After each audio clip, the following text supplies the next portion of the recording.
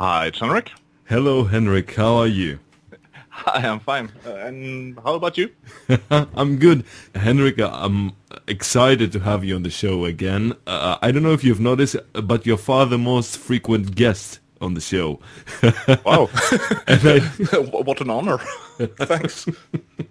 I think it's not uh, a coincidence, actually, though. it means that okay. you're doing something right, actually. Okay, well, that, that's good because then I can somehow I can look at the interviews with you and, and I know I'm doing something right because otherwise I have nothing to, to measure it on. so yeah, that's true. So hot on the heels of your latest album, uh, the Digital Crucifix, uh, you've released your first compilation. Uh, Henrik, uh, 10 years in the dark. Quite literal title, isn't it? yeah. Um, yeah, but it's a, we we wanted to kind of uh, put speaking of spotlights, we wanted to put a spotlight on on on the band and and that it's actually been around for such a long time because uh, I think when when I I, don't follow so much uh, what happens in the music industry these days. Mm. But but I've seen since it's kind of difficult times, and sometimes you see some e-signs and this and this band they are quitting now, and and the fans, oh no, this is such a shame. And, and and then suddenly they realize, and they've been around for like eight years or nine years or fifteen years. Oh wow, they've been for uh, around for such a long time, and such a shame they're quitting. Uh, and and I thought, okay, but we been, we have actually been around for 10 years last year, so I thought, let's put a spotlight on that, even though we're not quitting, and, and make people and, and, and the fans and supporters aware of that it's actually been such a long time. I was kind of surprised myself. It was actually a decade of Evil Masquerade, but it was kind of cool. So, so let's put a focus on that, uh, even though we're not quitting, uh, and make people happy for that we have actually been around for such a long time. Uh, and then that was also the idea of, of putting out the compilation album um, just to, to, to market uh, the anniversary year a little bit more. Uh, and also since we never did a compilation album, and especially when we are out playing gigs, uh, people are coming to the merch stand and, and they are asking, um, so what album should I get? Of course, they should get the latest one. But since we have six albums out now, um, and maybe six albums is kind of a lot to buy for for a new fan. So this would also be a great way to to get to, get to know the band a little bit more uh, from from the whole career, and especially since it's the fans that shows the music. So so yeah, it's from a fan's perspective, so to say. Um, so so now you can, if people come to to the show, for example, oh, what, what album should I get? Uh, yeah, try the, try this one. Uh, it's a little bit of, of everything, and, and it's from from the listener's point of view what they wanted to hear. So so and also to to get the title Ten Years in the Dark. So really make it clear we have been around for ten years um, um, to celebrate with us. Ten years in the dark and no heating on, right? yeah, I, ha I have heating now, so it's it's going towards the right direction. it seems that you're doing something right. Actually, that's the whole point. yeah, I, am I'm, I'm working in normal temperatures now. the success. I gotta say, I love the irony of the title, though. It's ten years in the dark under the spotlight. exactly. Um, and and of course, um, we we have always dealt a little bit with with the darker side of, of things, even though we've done it with humor. Uh, so it, it, it felt like just a great title for, for, for the album. So we're, we're we're really happy for it, and and surprisingly uh, to me, I, I, didn't think because it we already put out the digital crucifix uh, last year, so putting out one more album the same year. And Normally, people put out uh, compilation albums just to, to fill the void between normal studio albums, but that wasn't the point to filling anything with, with the album. It was just to, to mark the anniversary. So uh, I thought maybe putting out two albums one year would maybe be a little bit of overkill, but it's doing really well, and, and people seem to like it. So it's, it's the best sellers we have now. Of course, Pentagram is still going good. Crucifix is going great, and also Ten Years in the Dark. So so we we couldn't be happier. I think I'm working in in in normal temperatures. the sales actually translated pretty great uh, into the heating bill then. yeah, directly, and also from from old times. I have lots of, of, of, old heats to pay. no, uh, I gotta say though, but I think it's a great idea, you know, releasing two albums in the, in the, same year, in the sense that you you manage to, you know, with the short attention spans of the people now, you manage to get the people in the headlines uh, two times a year now, you know, unless you've got a two or two, you know, to to promote. Yeah, of course, but we don't really. yes and no. Evil Masquerade doesn't think that way uh, with getting as much attention or we just think we need to do it as good as possible mm. um, but also now since we have dark mystery music our own uh, company we of course need to think a little bit more strategic as well yeah. but we would never ever uh, put out anything just to put it out it, if it doesn't qualify for being as good as we think we can ever do it, we will never release anything. And it's the same with with uh, another new album. It it it will come when it's good enough. It, it, will never come 2015 because it's smart. Hopefully, it will come a new album this year. But let's see. Right. Uh, how come you decided to actually release a compilation? I think now you've got uh, six studio albums, a compilation album, and what about a live album? I don't think you've released a live album yet. So, are there any plans for one? Yes, actually, there have been plans for it quite a while, hmm. um, but it, it, feels like somehow we we want to do just more gigs to begin with, and it's it's not that easy to get proper gigs still. Uh, if, go figure, ten years and uh, lots of albums out, and still it's kind of hard to to get and a, and a decent gig at least. Of course, you can get the local bodega uh, or pizzeria or something, but but we can't do that because also we are so so spread out uh, because we are not all living in the same same country and yeah. and and we we need to meet and we need to to travel uh, from from A to B to C and and everything. So so just the logistics it it costs a little bit. It's not that we're extremely expensive or something but but we can't do like so many other bands, or I won't do it because I've been around for too long to to to pay to play. I, I will not do that. So we we do the proper gigs, uh, and still I, I want I want to do more gigs before we do an, a live album. And when we do a live album, uh, I don't want to do like it seems like nine out of ten bands are doing these days. They're going recording a live album, then they go home to the studio and replace everything and keep the audience, yeah. because that's not a live album. Uh, that's just cheating the fans for for the experience, and I think it's just silly. And if you can't play, don't do it. I, I, I really admire guys like. Frank Zappa, for example, one of the greatest uh, live albums I ever heard, uh, Broadway the Hard Way. Uh, and that's 100% live, and don't, they don't need to fake anything. Um, and when we do the live album, that will be with the mistakes and everything. Um, and hopefully there will not be so many mistakes, but the few the few that will happen, they should stay there, I think, because that's the real deal. Yeah, that's absolutely true. Now that you mentioned that you actually mentioned uh, really live albums. I remember, uh, you know, Type O Negative taking the piss by back in uh, 95, 94 something with the album The Origin of the Feces. Do you remember that one? Which was a fake live album, and the the band actually stated that it's a fake live album. you know, mm. they added. Yeah, you know, yeah, that's the, maybe the difference between them and so many of the other bands today, because I, I know too many bands. I, I, shouldn't hang them out here. Uh, uh, they they can hide it uh, if they want, but but but it, it's it's so obvious that that it's not what happened really on stage. And also these days, I think it's also stupid if if you don't have the the honor of, of doing doing it uh, genuine and and and and keeping what happened. Uh, it's also stupid because you have like 500 people in, in the audience with with mobile phones filming everything yeah. because they prefer to film the gig than seeing it themselves. But but then it's documented. This was really what happened. And then they go home here the live album and oh wow he he sings much better here. It's not false at all. And he, now he remembers the second verse. Uh, I think that's just so stupid.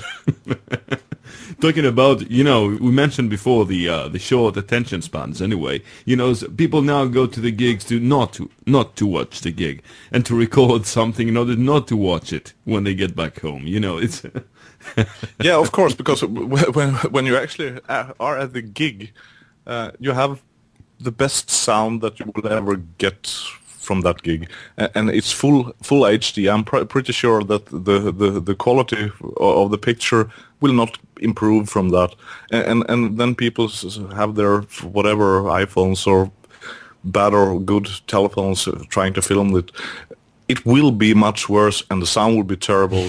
And they are looking at this tiny, tiny little display instead of this huge stage. Uh, It, it's just mind blowing. I, I don't know what they are thinking. Probably nothing. no, that's actually the digital crucifix in real life, uh, Henry. Yeah, it is. It is. That's one of many things that triggered that album. now, uh, you know, with the opportunity of the release of uh, uh, the 10 Years in the Dark compilation, uh, I would like to do something like, uh, you know, a look back into the uh, past couple of years. Uh, how do you see the band has evolved and grown over the years, since the inception of the band? um, since the beginning. In the beginning, it was not even meant to be a band. Uh, I was just tired of the whole industry thing uh, from past bands and contracts and labels and managements and everything. So I just, just I just closed, locked the door to my studio from the inside and, and stayed there with with nice coffee and, and red wine and wr- wrote music just for myself uh, and I, and I just did it because I, I like writing music.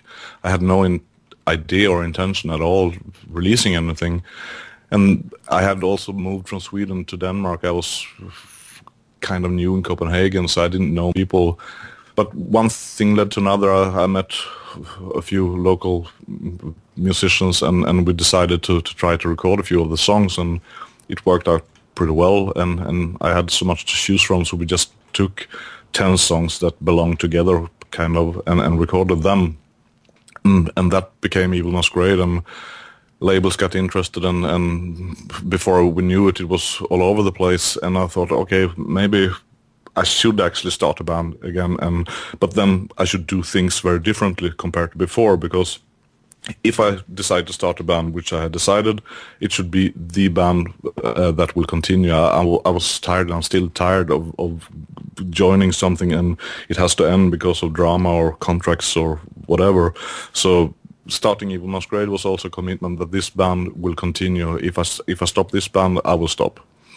Uh, and I, I didn't want like have band members in, in the band um, with bad priorities or or or whatever drama I've seen in in other bands. Uh, so so I just decided, fine, everyone is welcome. I really want, I really really have wanted every lineup to to stay intact. But on the other hand, if if people lose their motivation or become f- problematic or whatever, it it should not be uh, on the cost of the band. Uh, then they have to go because they were invited when they were motivated and and everything worked. Uh, and somehow, sometimes you need to part, and and because the band need to continue. So that was also how, how it started. So it's it started kind of chaotic and no really idea where to go, and you can see that I think also on the first album it's just it's just not much thought about it, or it maybe it looks like it's some complete maniac. It's it's has theatric. thought, thought, has thought too much. but, but and and also we we had a lot to prove to to to make kind of statement that we existed because there are so many bands now and it was at least as many bands back then. So we just put together uh, the album and and played as much as it was humanly possible on that album just to to make an impression and i think it's uh, i still hear it occasionally and i think it's a lot of fun and it's, it sounds like we we were on some illegal stuff uh, which we weren't but I, I think it's a lot of fun and it's completely insane It's extravagant, I would say, Henrik. Yeah, absolutely, uh, and and absolutely, it was honest. Uh, that's exactly where we were at, at that time, and we still play some songs from from from the early albums when we play now as well. So so it's not that we don't recognize or or, or will be connected to that time at all. Uh, Yeah. But then things evolved, of course, uh, and since if it became clear it should be a band, uh, musically I tried to I, I didn't want to to be like in the beginning it was very neoclassical very uh, lots are going on. And also all the reviews which were all most most of them were very positive positive in the beginning. But everyone was stating us to be this neoclassical fantastic orchestra. And I, I didn't want to I felt right away I didn't want to to make a long career as that band. So even though I liked the music, I felt it was very important to change direction there immediately after the first album to make it impossible to to for for people to to keep hang on to that that idea about Evil Masquerade. Um, and I think from album to album, it's been a little bit like that, uh, trying to okay, wh- what did we like from from what we just did, and what where, where do we think we want to go now? Because I, I rarely see the fun in just copying what we just did. Um, so, so it's just be, I think it, it's been a very natural progression um, from album to album, and it seems like the supporters of the band agree because when when someone find the band, if it was on the first album or if it was on the third album or fourth album, it seems like most of the people that finds us uh, continues following us. Of course, not all of them, but the majority, I think, they tend to stick with us when when they have found us, and also when we get new followers, uh, just like on on just the latest album, for example, uh, and and they became become more fans, and, and then they start to dig in the old stuff, and, and they like that as well, or most of it. So, so it it seems like unintentionally we have some red thread that you can follow through through the whole thing, and of course everything. Since this is what I do these days, I, I- don't do much more than than work and think about Evil Masquerade. So of course we try to refine it and, and make it more interesting or more effective or or even more Evil Masquerade.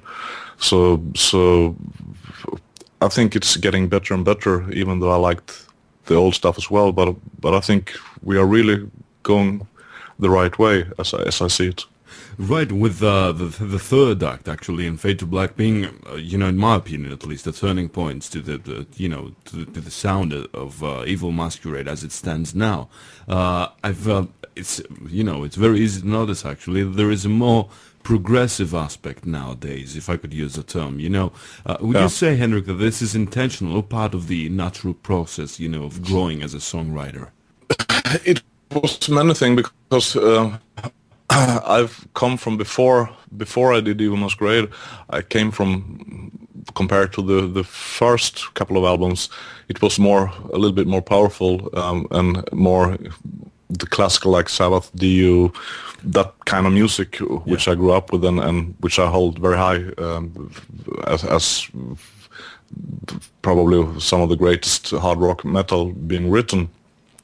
Uh, and when we did the first album, um, uh, as I told you, it was the band was local guys that I got to know when I when I moved to Copenhagen and and and when we recorded that, of course, then we need to do. And for example, the singer wasn't that powerful uh, and and didn't he didn't sound like anything that I was used to work with. And then when we were working with our second album, it, it was also very clear that, that socially in the band he, he didn't work out very well, and and and the band felt it, it was very clear that we will not continue. So, and that was around when we had basically released the second and next album after that will be with another singer, and and that somehow felt really good to me because then I felt that okay, let's let's move on to the direction where I normally come from, and get some more power behind the the microphone, and of course, that also motivates me as a songwriter uh, to, to write things that, of course, now all what I did in the past and, and was suddenly possible again, and I could think in another way, uh, and and also put more focus on on on the vocalist uh, to to to hold the th- whole thing together more uh, than was possible in our two first albums. Uh, and I think that was probably the, the the joy of going back to the vocalists I, I, I was familiar or comfortable with in the past. That that made the change in the songwriting, I think. Um, and and yeah, basically that's the way we've continued after that because now I think we we we will we will always continue with that kind of vocalists uh, from from now on or from then on. Right. How is uh, actually Tobias adapting to to the to being in the band? I know he's he's actually officially joined last year, a couple of weeks before the uh, the release of uh, uh, the album. Because initially he joined as a you know to, to replace uh, uh, Apollo uh, just for a couple of gigs, but then he turned to to become a, a permanent member of the band. Basically, uh, when I had a talk with Apollo and, and, and we came to the agreement then that it was probably for the best um, that we didn't continue with him because I, I didn't feel like he he had the motivation or or or time or he was very torn between different things with work and family and and all that. And and also you can see all the other bands he was in. He was in too many bands to begin with uh, and and he quit basically or stopped or I don't know his stories with all the bands but but he didn't continue with them With any of them, actually. Mm. no, with with none of them. So so and and that was also the, how we felt it in in Evil Masquerade that he didn't feel that he was really there, uh, even though we're still good friends and everything. Um, and and you might see him live with us some someday in a way um, if. If we stand and need a, a vocalist uh, in in some situation, he has told us he's happy to to jump aboard and help out if we need it. So it's no bad blood or something. Um, but then I I knew about uh, Tobias since some years back when I saw him with a with a small band uh, here in Copenhagen at a club, uh, and I thought, okay, this is a good good good vocalist that I could maybe work with someday. Um, so it was was very a natural point to, to try him out, and it, it works really good. So and then I invited him to, to join the band uh, and play uh, or record um, the, the, the Digital Crucifix album to really try it out also in the studio. Uh, and it, it it worked very well. I I but I I asked him that if he wanted to join this band, uh, it should not be just for one album because I, I'm I'm not that interested in changing people. Um, um, so so, but he was he was happy for that. Right, and indeed he's a great voice. Uh, absolutely. Uh, so Henrik, uh, let's uh, hear something from uh, the band's back catalog. Oh, the moment has come again. Um, yeah, I, don't, I, I ha- have no idea if I or what I have chosen before, but if I should choose something, uh, let's from from a live perspective. Um, when we played the last show, uh, we played in Sweden. I could see that the Nature's Calling made something happen in the audience because they suddenly were jumping up and down higher than they did before. So the Nature's Calling. Excellent.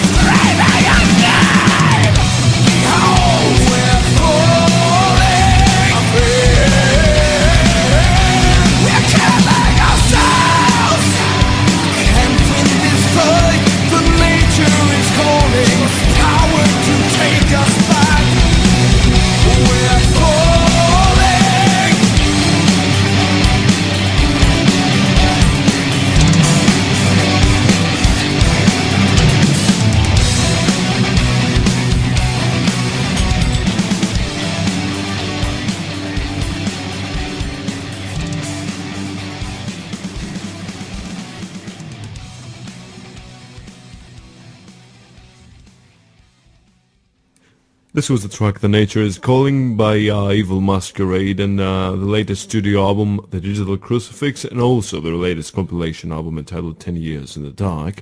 Uh, here with me is Mr. Henrik Flyman uh, talking about uh, the band's uh, past and future. So Henrik, So we've mentioned uh, the band's past albums uh, in general, Henrik. Uh, which uh, specific tracks from your back catalog do you still listen to today and feel extremely proud uh, of, and why? You know, you, those moments that you actually said, "Oh, did I really write this thing?" you know. I'll see. I have some albums here. Uh, I'll, I'll, let's see if I if I recognize something.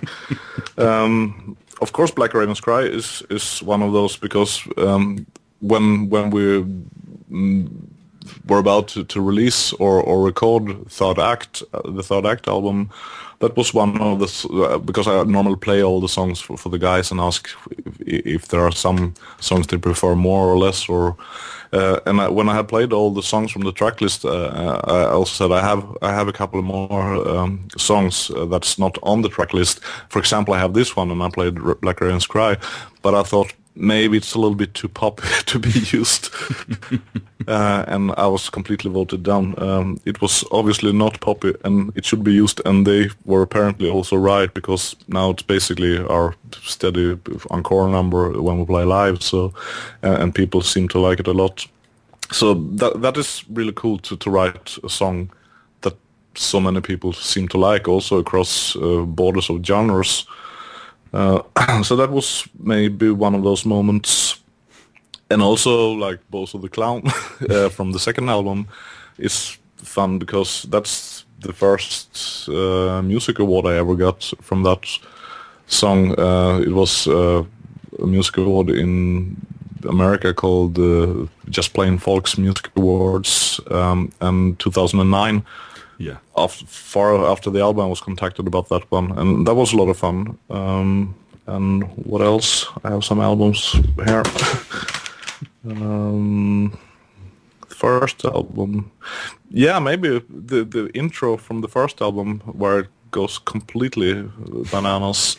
that that was kind of fun because. Uh, That, that was also one of those out of the blue moments uh, when General Motors uh, from America contacted me and asked, "Can we use this to sell our cars?" and I was like, "Okay, what? You're you're basically one of the biggest companies in the world, uh, selling extremely expensive cars, and you want to use our, our our intro for our debut album to sell those." But I, I guess they wanted something powerful that kicked ass uh, because they probably think. And I think it works really great, actually. yeah, it probably does because they used it for like three years, uh, like in cinemas and television all across North America. So that I don't know. That, that's maybe maybe more of the results of the songs that made it. I- I'm a little bit proud of it more than may, the song itself because I think it's just like 200 guitars playing everything that's possible. Uh, but but but it it it was a fun story uh, in the end with it. And let's see, Fade to Black.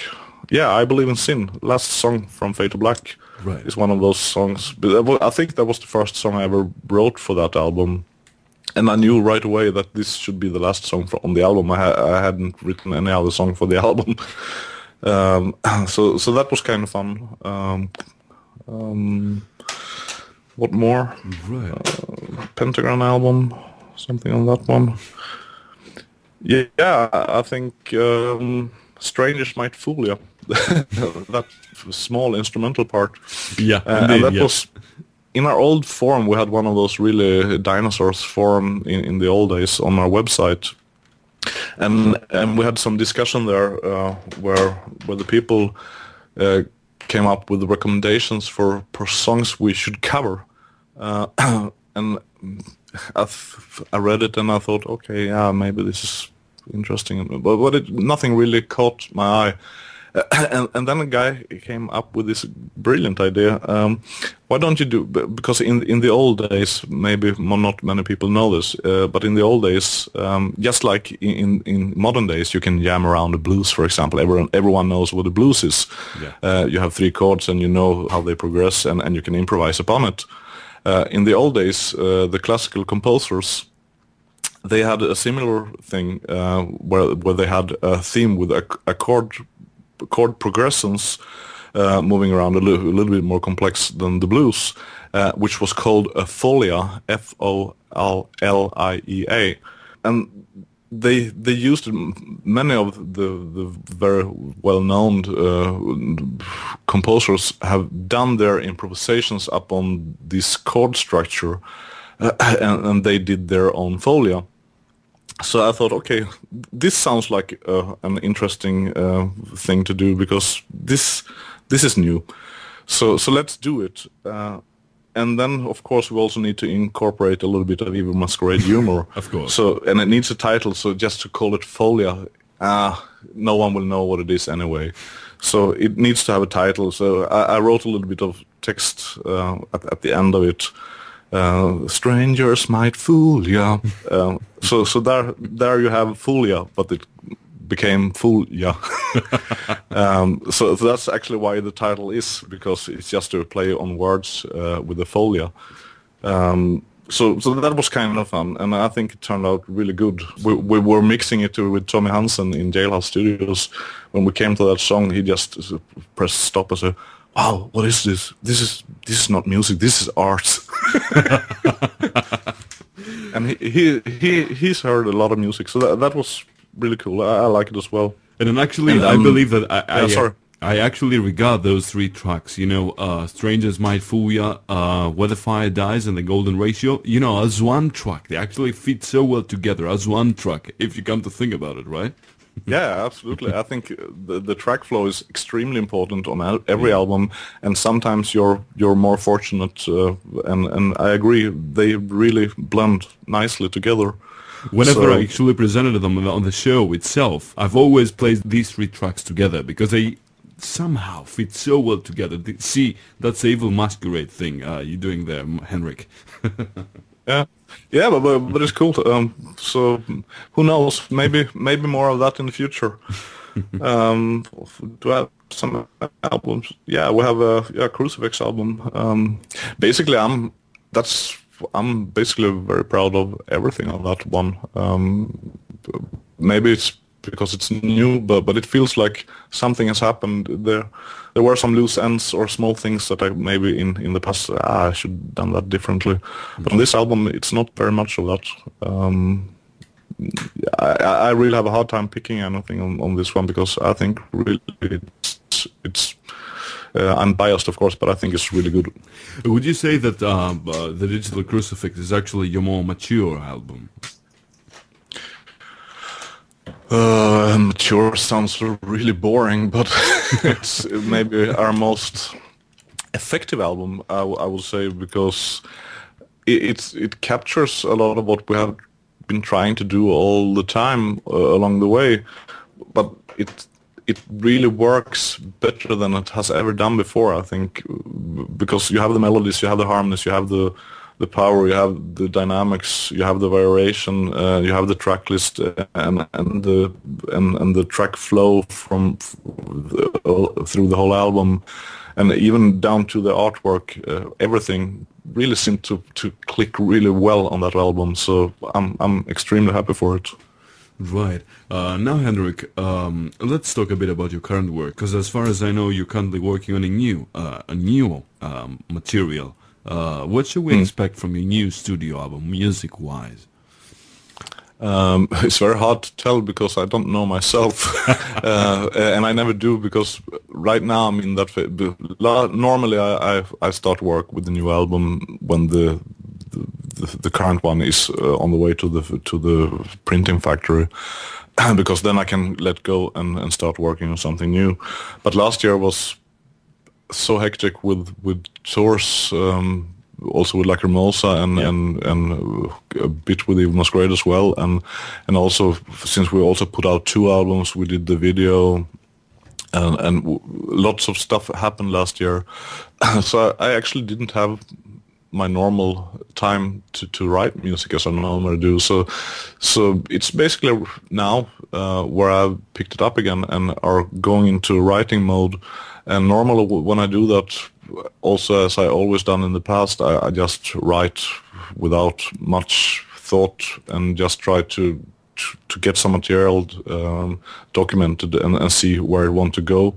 Uh, and and then when I find okay, this seems to belong together a, a little bit, and and then that's normally how how I find the way. Okay, this should probably go in this direction. Then I try to continue writing a little bit down that road, but not necessarily it it's how it's going to end. So it's right now it's, it's very open.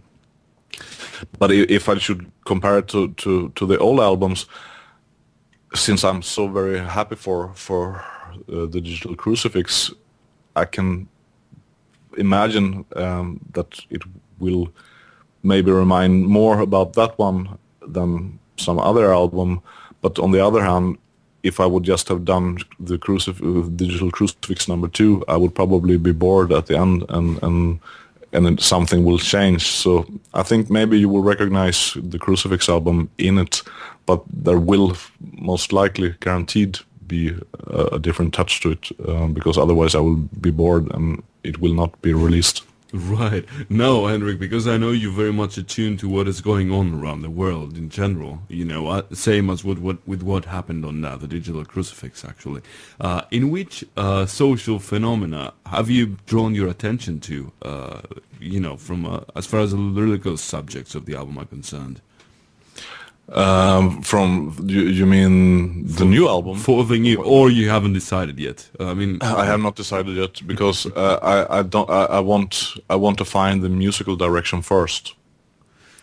Um, because I think for for me it always starts with with with the musical theme, and, and to be comfortable with that, uh, and and then when I got them that far.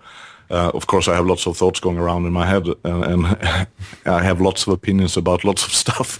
Uh, so, so usually, some of those opinions or some of those ideas uh, floating around in my head usually works with whatever, whatever music comes out. Um, but, but but I think the music needs to be there first because before I try to lay down too much lyrics on it. Uh, it's it's also not very unusual when when I write music that maybe uh, some demos are are demoed. Uh, I, I demo them with some vocals uh, on, and, and then later on when I okay this is maybe the way we should go, then I maybe I just completely delete the lyrics and, and write new ones for for for the right direction of of, of the album uh, to to make it really work. So, but but for now it's a little bit too early to say. Right. Uh, we actually mentioned live appearances before, uh, and since we were actually talking about the past, uh, out of all your live appearances so far, which ones are the most special for you and why? maybe let's see the debut gig is always special because it's the first gig you, you do with the band uh, and and the debut gig we did, did with evil masquerade uh, it was in it was a closed gig uh, it was just for i think if i remember right maybe I, don't think there were invitations for it, but but it it was just spread to to a small community uh, who were aware of it, uh, and it was in Copenhagen, but it was far out uh, in Copenhagen. It was not in some fancy place in the middle of the city, so it was very unpractical to get there, and there was nothing else around. It was just like a war zone, and, and it looked like sh- shit. Uh, and in in a basement there, a small basement, there were a bar and and a stage looked a little bit like a bordello, and and there where where we presented a few songs from from from the debut album, and that was kind of interesting. I have a bootleg from that gig, um, not very good at all. The the, the techniques about it, around with the filming and sound, and but but it, it's possible to see and hear it. So I, I've I've been holding on to that to see when whenever the time is right to, to put it out. Uh, so that was kind of fun because it was new and, and special and, and, and very odd location and, and the whole thing was odd. It was very evil masquerade and especially uh, as we were back then. Uh, so it was a lot of fun and, and we played great. I think uh, from what I could hear, it was really good. And if I should say something more, uh, it would be like last year, because we never played any big festivals before. And last year we were invited to play at Dokkum uh, in uh, the Netherlands, uh, and that was great because that was the biggest thing we've been doing uh, with this band. So that was really, really a good experience as well. Uh, even though the time slot was maybe not the, the coolest, but it was great to to actually be accepted in, into to the more uh, the bigger or more normal, commonly metal communities uh, such as Dokkum, which is absolutely great festival and very professional done. So that was one of them as well. Right. So you, they didn't let you play in the night, right? no, no, uh, absolutely no. It was it was daytime, uh, uh, and we actually opened the second day uh, Yeah. in, in in the middle of the day. So I thought, okay, maybe no one will be here, but I was really surprised because people showed up, and it was kind of it, not completely full, but but it, it it was people through the whole uh, before before the stage the whole way back, uh, and and even though they were severely damaged by hangovers uh, since the party last day. They they they they stayed and and they really seemed to like it. So that was cool. Absolutely brilliant. Now, uh, what other plans are there for more live appearances, Henrik? Uh, have you uh, got anything more in store for us? Basically, we are trying to contact every place where where live music is being played um, and and try to to get through and, and, and make something happen. Um, so it's basically we as soon as someone wants us to come, we will come. But but it's not that easy actually to to get that many gigs, which are just a little bit decent. So so for for right right now we have a couple of things, but those aren't actually until next year, uh, which seems a little bit interesting, uh, and some new countries for us uh, coming up.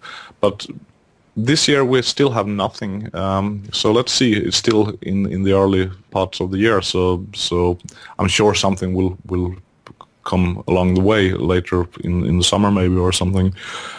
So let's see what happens, but but right now we have nothing, even though we want to have as much as possible. Right. Now, now it's pretty ironic, come to think about it, Henrik, because uh, it's become so much easier to release as many albums as possible. But, you know, it's so it's become so hard to actually get to book gigs, right? Not just for you, for every band out there, actually.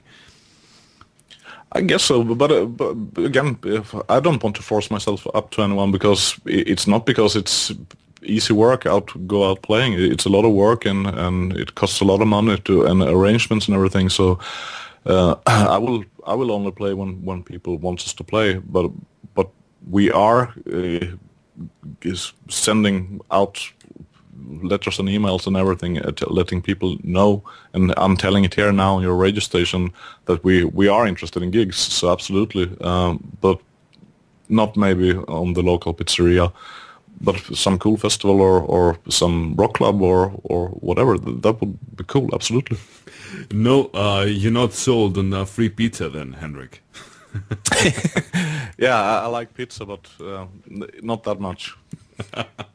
no, actually, because you you actually mentioned before that you know some musicians are actually going out, you know, uh, pretending, you know, to to be uh, on the spotlight just to to become barman.